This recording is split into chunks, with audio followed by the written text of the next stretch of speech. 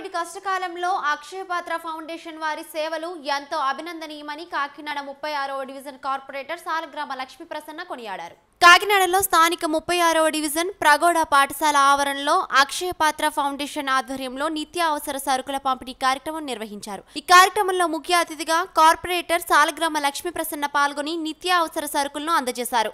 ఈ సందర్భంగా ఆమె మాట్లాడుతూ కరోనా కష్టకాలంలో ఒక కుటుంబంకు ఇరవై ఒక్క రోజులకు సరిపోయే వస్తువులను కిట్స్ లాగా తయారు చేసి కష్టకాలంలో ఉన్న వారి కోసం పంపిణీ చేయడం మంచి ఆలోచన అని ఫౌండేషన్ సేవలను కొనియాడారు.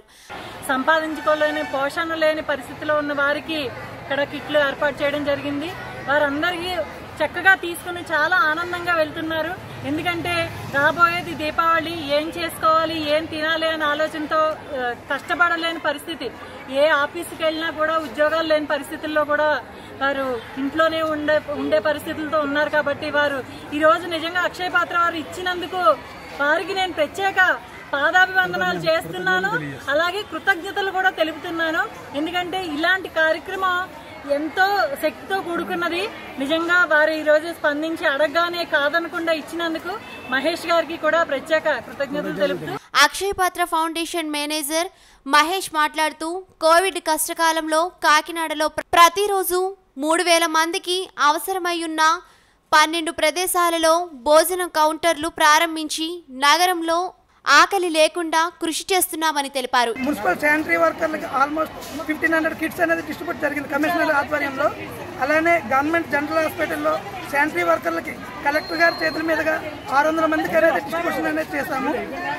అలాగే మన గోకులం టెంపుల్లో గోకులం టెంపుల్లో పురోహితులందరికీ కూడా గుళ్ళన్నీ మూతపడిన వేళల్లో ఆల్మోస్ట్ ఐదు వందల యాభై కిట్లు అనేది డిస్ట్రిబ్యూషన్ జరిగింది.